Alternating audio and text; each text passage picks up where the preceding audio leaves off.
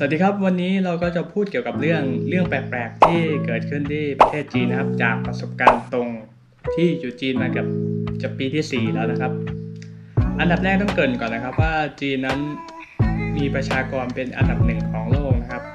ก็พันสามร้อยกว่าล้านคนนะครับ ก็การที่มีคนเยอะแบบนี้นะครับ ก็จะมีความแตกต่างทั้งด้านภาษา วัฒนธรรมความเชื่อต่างๆ นานานะครับ ก็จะมีเรื่อง แปลกๆที่คลิปนี้เอามานำเสนอนะครับ ว่าจะมีอะไรบ้างไปดูกันเลย มอเตอร์ไซค์ไฟฟ้าที่จีนใช้เยอะมากเลย อันนี้ก็มอเตอร์ไซค์ไฟฟ้าที่จีนนะครับ ก็จะมีคนนิยมใช้เยอะมากเลยนะครับ แทบจะตัดเป็นเปอร์เซ็นต์ได้เกือบ 95%เลยก็ว่าได้นะครับ เพราะว่ารัฐบาลส่งเสริมนะครับ และอีกอย่างคือราคามันถูกกว่ามอเตอร์ไซค์ที่กินน้ำมันนะครับ แล้วอีกอย่างก็คือ ถ้าคุณมีมอเตอร์ไซค์นะครับ เวลาคุณอยู่ในเมืองนะครับ มันจะมีไม่กี่ที่นะครับที่มอเตอร์ไซค์ที่เติมน้ำมันนะครับ ที่สามารถเติมได้นะครับ ก็อย่างเพื่อนผมที่ซื้อมอเตอร์ไซค์ที่เติมน้ำมันมานะครับ ซึ่งซึ่งเมืองที่ผมอยู่นะครับ ก็แทบจะส่งเสริมการใช้พลังงานไฟฟ้าเกือบจะเต็มที่แล้วขนาดรถแท็กซี่นะครับ ก็ยังเป็นรถแท็กซี่ไฟฟ้านะครับ ก็แบบจะเติมน้ำมันทีนะครับ ต้องขับรถไปเกือบสุด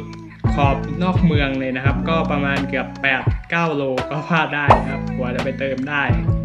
น้ำมันหนึ่งครั้งครับ เนื่องในเหตุผลนี้เองนะครับคนก็เลย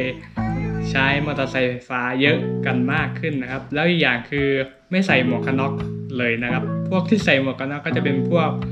ว่ายไม้ครับหรือฟู้ดดิลิเวอรี่นั่นเองนะครับ ก็จะใส่หมวกมานะครับนอกนั้นก็แทบจะไม่ใส่หมวกกันน็อกเลยนะครับ เออ แล้วอีกอย่างนะครับ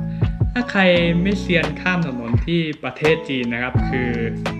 อันตรายมากเลยนะครับแต่ถ้าคุณเคยไปรัสเซียมาหรือไปอินเดียมาก็คล้ายประมาณนั้นเลยก็ว่าได้นะครับ ถ้าไม่เซียนพอก็รอให้คนจีนข้างหน้าข้ามไปก่อนครับ แล้วเราค่อยเดินตามหลังนะครับ ก็ระวังกันหน่อยนะครับ กล้องวงจรปิดที่จีนเยอะมาก ครับอยู่ที่จีนก็เป็นโรงงานโลกนะครับ ก็เวลาจะผลิตอะไรก็ผลิตออกมาได้เยอะนะครับกล้องวงจรปิดก็เช่นกันนะครับ ผมไม่เข้าใจว่าราคาถูกหรือว่าอะไรนะครับ ติดกันเยอะมากเลยครับ โดยเฉพาะพวกที่สถานีรถบัสสถานีรถไฟเนี่ยครับพอเข้าไปปุ๊บทุกมุมเลี้ยวนะครับ แค่หน้าประตูก็มีกล้องวงจรปิดแล้วนะครับ เข้าไปในรอสถานีนั่งเก้าอี้รอครับก็มีกล้องวงจรปิดนะครับ แล้ว ลงไปข้างล่างนะครับ รอขึ้นรถไฟก็ยังมีกล้องวงจรปิดติดอีกนะครับเยอะจริงๆ โดยเฉพาะที่เห็นเด่นๆนะครับ ตรงสี่แยกเสาสัญญาณไฟจราจรนะครับ ก็ไอไฟจราจรแดงเหลืองเขียวนะครับ ก็จะมีติดไว้ข้างบนนะครับ ก็ประมาณ 8 ตัวเป็นอย่างต่ำนะครับ คือแบบเยอะนะแล้วก็ถ้าเสาเล็กลงมาหน่อยก็จะมีแค่ 4 ตัวนะครับ ก็ยังเยอะอยู่ดีครับ แต่มันก็เป็นเรื่องดีนะครับเพื่อความปลอดภัยนะครับ แล้วก็เพื่อความในการจับกลุ่มผู้ต้องหาหรือเอาเอาผิดได้สำหรับพนักงานหรือเจ้าหน้าที่ตำรวจนะครับ ก็จะมีหลักฐานอ้างอิงในการต่อร้องต่อเถียงกับผู้ต้องหาหรือผู้ต้องสงสัยนะครับ คือมีครั้งหนึ่งเคยเข้าไปในสถานีตำรวจนะครับ แต่ไม่ได้ไปเสียค่าปรับหรืออะไรนะครับ ก็จะมีเห็นการทำงานของตำรวจนะครับ ก็ถือว่า เอารูปภาพ เอารูปกล้องวงจรปิดมาให้ดูเลยนะครับ ก็จะมีกรณีนั้นก็คือ มีคนขับรถไว้ไหม้นะครับ หรือฟู้ดฟู้ดเดลิเวอรี่นะครับ ที่เขาขับเฉียวรถอีกคันหนึ่งนะครับเขาบอกว่ารถคันนี้ขับมาเนี่ยแล้วเขาอยู่ในมุมเลี้ยวพอดีครับ ก็เลยเฉียวชนกันนะครับเขาบอกว่าเขาเลยบอกว่านี่หลักฐานมันเป็นอย่างนี้นะเออก็ ผมก็ฟังไม่ค่อยรู้เรื่องเท่าไหร่นะครับเพราะภาษาจีนไม่ค่อยถี่มากนะครับเอาเป็นว่าฟู้ดเดลิเวอรี่นั้นเขาเป็นคนผิดนะครับเพราะว่าเขาหักเลี้ยวกระทันหันนะครับก็เท่าที่แปลได้นะก็แบบอู้นี่หลักฐานอ้างอิงเลยแล้วแบบถ้าจะมัดตัวแล้วก็หาข้อแก้ตัวอื่นๆนานามาเถียงไม่ได้เลยนะครับ ก็แบบอ๋อเป็นการทำแบบนี้นี่เอง บางคลิปผมเห็นนะครับตำรวจแค่นั่งอยู่ในป้อมหรือนั่งอยู่ในสถานีนะครับ แล้วก็มีคนออกอารวาส นี่นั่นพังค่าของครับพรุ่งนี้เช้าตื่นขึ้นมาตำรวจก็เดินไปจับจากเตียงนอนเขาเลยนะเขาก็แบบอ๋อมีกล้องมันก็ดีแบบนี้เองแล้วทำงานไวแล้วข้อมูลทุกอย่างนะครับ มันก็อยู่ในสารระบบตำรวจนะครับ แล้วระบบสแกนหน้าตานะครับว่าเป็นยังไง คนคนนี้บ้านอยู่ที่ไหนแล้วอะแล้วในภาษาจีนนะครับ มันก็จะมีความ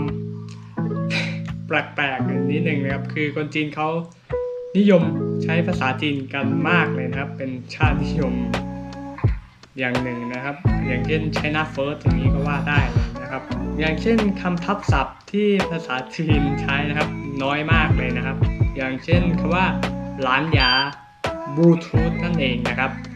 ก็ใช้คำว่าหลานยานะครับ หลานที่แปลว่าสีฟ้านะครับยาที่แปลว่าฟันนะครับ ก็แปลทับศัพท์ตามตัวมาเลยนะครับ อย่างเช่น ภาษาไทยก็ บลูทูธเนี่ยมันก็ยืมภาษาอังกฤษมาครับ แต่ที่จีนเป็นอย่างนั้นเลยครับ แล้วอีกแบบหนึ่งคือตารางธาตุนี่คือใช้ภาษาจีนหมดเลยนะครับ คือแบบถ้าใครไปเรียนที่นั่นเกี่ยวกับสายวิทย์นี่คือคงจะปวดหัวตายนะครับ อีกแบบหนึ่งคือพวกโภชนาการอาหารอันนี้ก็ใช้ศัพท์จีนเหมือนกันนะครับอย่างคำว่าแคลเซียมเนี่ยเขาใช้ว่าก้ายนะครับแคลเซียมคือ โอ้โหจะแตกต่างไปไหนเนี่ย ถ้าใครไปเรียนหมอที่นั่นยิ่งต้องเรียนศัพท์ใหม่ที่เป็นภาษาจีนหมดเลยนะครับ คือ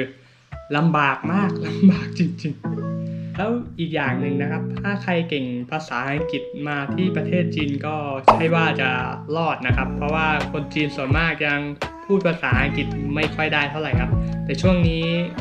ก็มีการกระตุ้นให้เรียนภาษาอังกฤษเยอะขึ้นนะครับ ก็จะมีคน